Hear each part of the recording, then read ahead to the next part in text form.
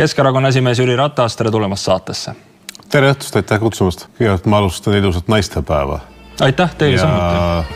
ma ei soovinud teile seda, ma soovisin televaatajatele.